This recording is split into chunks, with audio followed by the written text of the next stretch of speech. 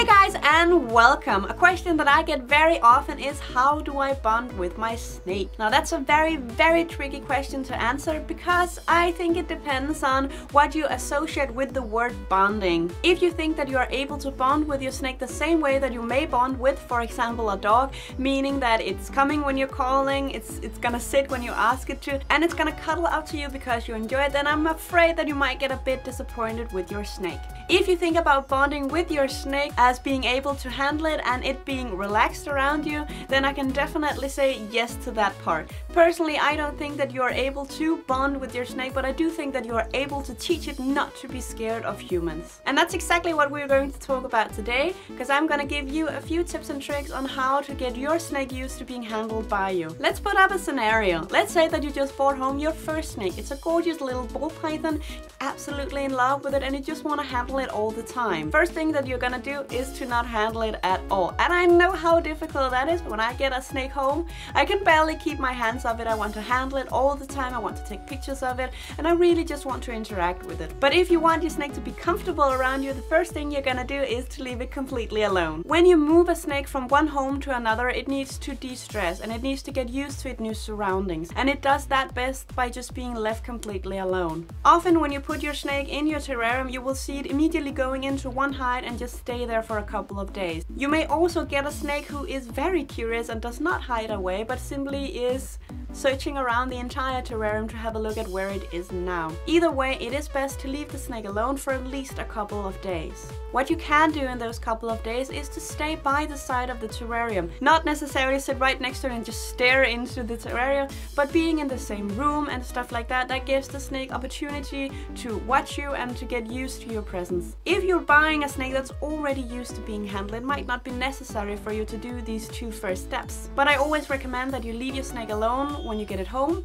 And of course, it's always a good idea to observe your snake, getting used to its behavior, because then you will also know when something is wrong. The third thing I recommend that you do is that you establish a good feeding habit, which means that the snake is eating without any trouble. Depending on what species of snake and on the individual snake, of course, that time may vary of how long it's going to take to establish this feeding habit. For example, if you buy an adult corn snake, you most likely will have no trouble at all establishing the feeding habit, which means that when you feed the snake, it will eat almost right away. But if you are buying a ball python that might be stressed from the journey or from the previous home, that might take a few more weeks, if not months, to establish that feeding habit. Once your snake is eating well and it's pooping and it's shedding like a champion, then you can move on and start to handle your snake. If it is your first snake, I can totally understand if you're being a bit careful and a bit nervous about handling. If you are, I've made a video on how to handle your snake and you can watch it right up here, of course, and I've linked to it down in the description of the video as well. When you're going to handle your snake, I think it's very important to be very quick and very gentle and very effective when you're doing it. Some people, they recommend that you put your hand in the terrarium and you start to stroke the snake. I cannot recommend that at all. You should not do that.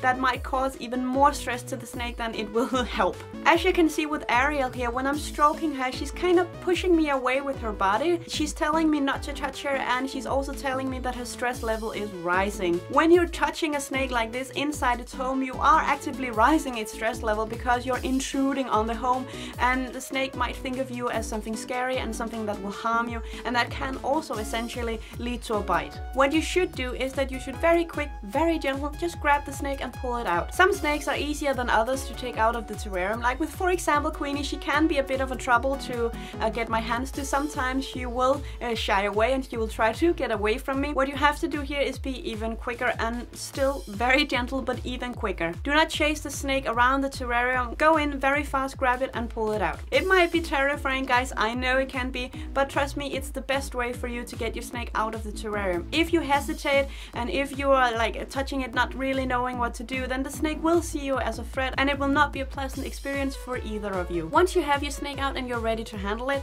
just stay very, very calm with your hands and give the snake lots of support. If you have a ball python like Ariel, for example, she might be a bit shy and she might be curled up, not moving at all. Just give her some time and she will slowly, very slowly start to flick her tongue and start to look around. That's a very, very good sign. A snake that's moving around slowly, flickering its tongue, that's a curious snake and that's very, very good. That's really what we want when we're handling a snake. If you have a snake like Queenie here, for example, who is a bit more uh, energetic, if you can say it like that, or If a snake is very very stressed, it will also move very fastly, it will try to get away from you. You still have to remain as calm as you possibly can and just give the snake support, support, support. Until the snake calms down and trust me, eventually it most likely will. Just calm down and spend a few moments, maybe only 2 to 3 moments until the snake has calmed down, maybe 10 minutes. Just keep on going until it's calmed down. Once the snake is calm, you can sit with it for however long you feel like. Of course, you have to make sure that the snake is not getting too cold or if it's getting stressed again. Once you're done, just put your snake gently into the terrarium again. If you do this a couple of times every week, of course still making sure that the snake is eating as it should be, then in no time you will have a snake that's not scared of you. Of course you always have to remember that the snake does not benefit of you holding or handling it. It's only for your own satisfaction and your own amusement. So you really have to ask yourself when you're getting a snake, do I want a snake just to be able to handle it all the time? Or do I want a snake because it's an amazing creature and I really do enjoy watching it? Of course I'm not saying that you can never ever handle your snake of course you can. I do handle my snakes from time to time, but in no way near do I handle them every day. It's most likely once a week, and with some of the snakes it's even just once a month. Snakes are reptile and you need to remember that they react on pure instinct. I have also seen people take out the snake not only to handle, but to just have the snake chill with them. For example, chill with them in bed or when they're by the computer. And guys, feel free to do whatever you feel like doing with your snake. But guys, use your common sense. So all in all, yes, it is possible to teach your snake not to be scared of you and not to be scared of humans in general. It takes work, it takes dedication and sometimes it takes a lot of time. But it is possible. But do remember that essentially every snake is different and some might take longer and some might take shorter time to get used to it. You might also be lucky to just get a snake that is used to being handled. Alright guys, that's all for today. I really do hope you enjoyed this video. If you have any comments or questions, just post them right down in the comments section. Of course, I am totally interested in hearing what you guys do to bond with your snake. Let me know right down in the comments section. If you did enjoy the video, please leave a like, it really does help me out a lot. And if you enjoyed the video, just press that subscribe button for more. Thank you guys for now, and bye bye!